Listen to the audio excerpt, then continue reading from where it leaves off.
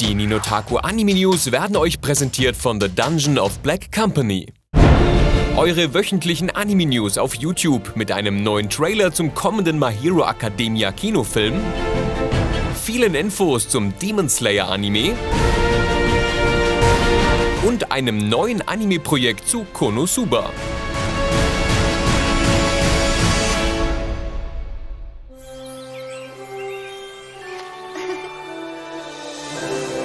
Are the hero the lady foretold.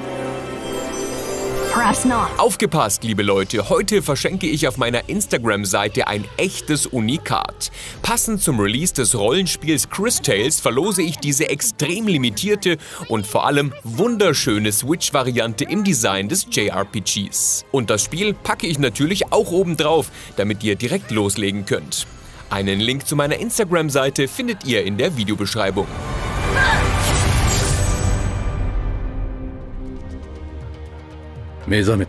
Das neue Anime-News-Video starten wir mit einer, Zitat, neuen Ära des Anime. Okay, zugegeben, das ist schon eine recht gewagte Ansage vom Studio Gonzo, das zuletzt den Netflix-Anime Seven Seeds hervorbrachte. Die Verantwortlichen gaben nämlich bekannt, dass man derzeit unter Zuhilfenahme bestimmter Technologien an einem neuen Anime-Projekt namens Samurai Cryptos arbeitet, das dann besagte neue Anime-Ära einleiten soll. Wie das schlussendlich aussehen wird, bleibt spannend, aber erstmal abzuwarten. Denn bislang klingt die Beschreibung von Samurai Cryptos sehr kryptisch.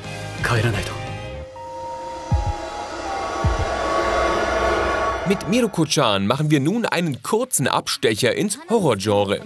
Auf der offiziellen Webseite der Serie wurde nämlich verkündet, dass der Titel ab Oktober dieses Jahres im japanischen TV ausgestrahlt wird. Der Anime handelt vom Mädchen Miko, dessen Leben eines Tages völlig aus den Fugen gerät, als die Oberschülerin urplötzlich abscheuliche Wesen sehen kann. Über eine Lizenzierung für Deutschland ist noch nichts bekannt.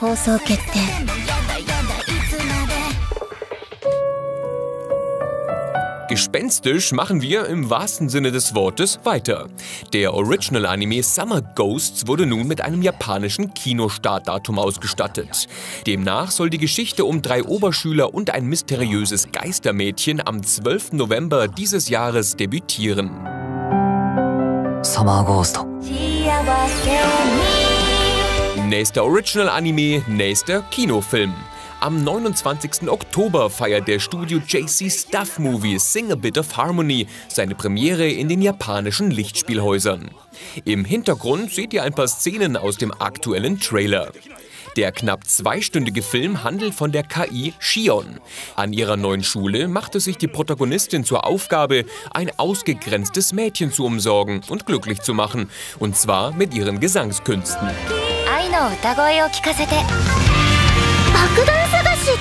Wir bleiben auch für die nächste News im Kinosessel sitzen, denn die sechsteilige Princess Principal Filmreihe Crown Handler geht ab dem 23. September in die zweite Runde.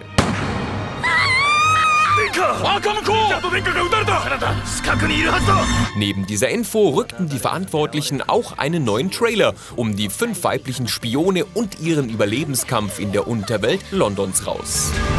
Princess Principal, Crown Handler, 第2章。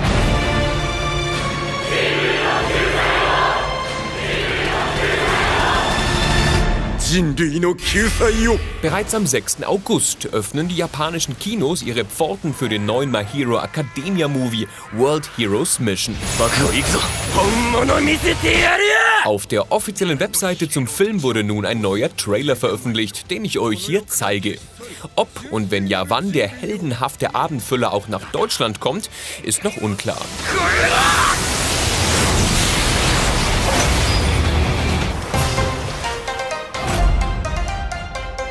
Wie bereits vor einiger Zeit angekündigt wurde, erhält die gefeierte Anime-Serie Demon Slayer eine zweite Staffel. Unklar ist jedoch noch immer, wann genau die Fortsetzung an den Start geht. Vor einigen Tagen wurde ein neuer Teaser veröffentlicht, an dessen Ende erneut das Jahr 2021 als Release-Jahr angegeben wird.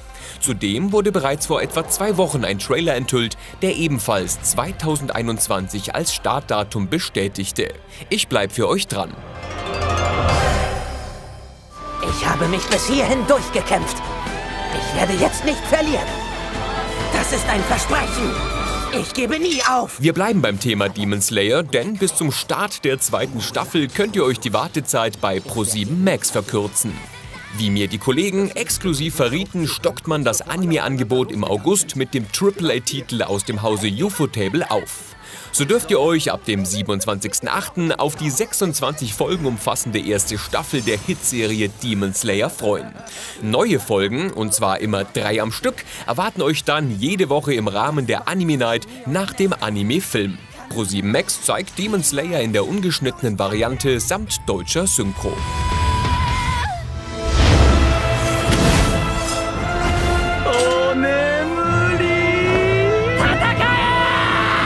Und Demon Slayer die dritte. Denn nachdem ihr die eben erwähnte erste Staffel gesehen habt und die vorhin erwähnte zweite Staffel sehen wollt, solltet ihr auch das in Anführungsstrichen Bindeglied der beiden Seasons, nämlich den Kinofilm Mugen Train anschauen.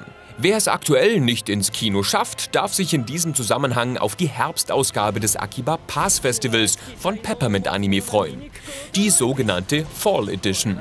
Ein Online-Event auf Twitch, das vom 24. bis 26. September stattfindet. Peppermint gab nämlich bekannt, dass man in diesem Rahmen den Movie Mugen Train mit wahlweise deutscher oder japanischer Synchro ausstrahlen wird.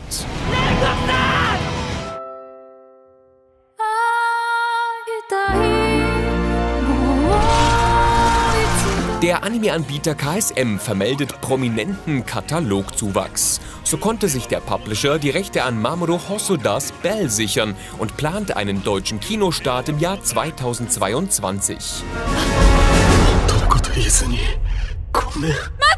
Hosoda wurde durch Anime-Meilensteine wie etwa Ame und Yuki, Mirai das Mädchen aus der Zukunft oder Der Junge und das Biest bekannt.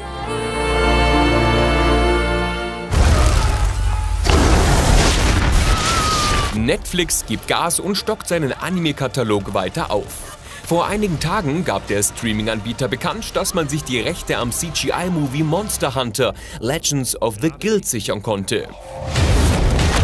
Was ist das? Eine unbändige, unaufhaltsame Naturgewalt. Damit feiert der knapp einstündige Film, der sich als Spin-off des beliebten Monster Hunter Franchises versteht, seine Weltpremiere bei Netflix.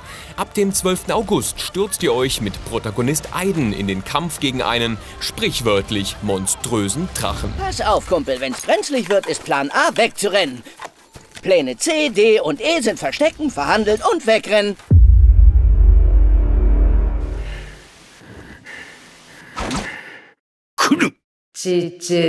Ebenfalls im August startet, wie bereits berichtet, das Reboot des Anime-Klassikers Shaman King bei Netflix. Nachdem der 52-teilige Anime im April dieses Jahres sein japanisches TV-Debüt hinlegte, bereichert die Neuauflage des Klassikers ab dem 9. August den weltweiten Netflix-Katalog. Und zwar mitsamt einer deutschen Synchro, zu der nun erste Infos durchgesickert sind. Demnach dürft ihr euch auf nahezu alle Sprecher aus der Originalserie freuen. So wird Protagonist Jo zum Beispiel von Hubertus von Lerchenfeld vertont, der beispielsweise Sanji in der deutschen One Piece-Fassung seine Stimme leiht. Shaman King. Wo Blätter tanzen, glüht ein Feuer. Der Glanz des Hokage strahlt auf das Dorf. Wieder erblühen junge Knospen in Konoha. Jutsu, der Schattendoppelgänger! Bist du Narutos Sohn? Als nächsten Netflix-Neuzugang im August gesellt sich dann auch noch der Naruto-Nachfolger Boruto ins Programm des Anbieters. Demnach steht ab dem 1.8. Staffel 1 der Serie zum Abruf bereit. In Deutschland ist das im Jahre 2017 gestartete Sequel zum Shonen-Klassiker Naruto auf Disc bei KSM erhältlich, während euch beim Anbieter TV Now die ersten 51 Episoden mit deutscher Synchro zur Verfügung stehen. Boruto! Naruto the Movie! Wir, die Sippe des Abschieds, sind Zeugen des Schicksals vieler Menschen, die gehen mussten. Anime-Nachschub auf Netflix gibt's aber nicht nur im August, vielmehr wurde der Katalog um einen weiteren Titel angereichert, der euch ab sofort zur Verfügung steht. Die Rede ist vom 2018er PA Works Movie Makia, eine unsterbliche Liebesgeschichte. Wenn ich nicht groß werde, kann ich dich ja nicht beschützen.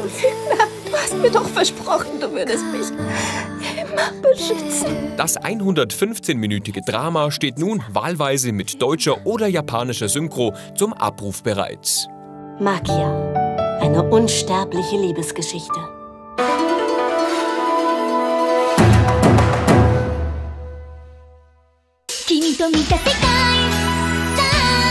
Der Konosuba-Anime zählt bislang zwei Staffeln, zwei OVAs sowie einen Kinofilm. Die beliebte Serie ist in Deutschland beim Anbieter Animoon erhältlich und auf meinem Kanal könnt ihr euch je die erste Episode der beiden TV-Seasons kostenlos ansehen. Einen Link gibt's in der Infobox. Und wer nicht genug von Konosuba bekommt, hat nun Grund zur Freude. Was zur Hölle ist jetzt schon wieder los? Die Verantwortlichen kündigten ein brandneues Anime-Projekt an. Details wurden jedoch nur sehr sparsam gestreut und bislang ist unklar, ob es sich um eine weitere Staffel, eine neue OVA oder einen zweiten Kinofilm handeln wird. Auch einen Release-Termin gibt es noch nicht. Was denkt ihr, was da auf uns zukommt? Schreibt es mir gerne in die Kommentare. Das waren die wichtigsten Anime-News der Woche in der Zusammenfassung. Wenn es euch gefallen hat, lasst mir gerne einen Daumen nach oben da. Sie waren wie immer ein hervorragendes Publikum. Vielen Dank fürs Zusehen. Die Ninotaku Anime News wurden euch präsentiert von The Dungeon of Black Company.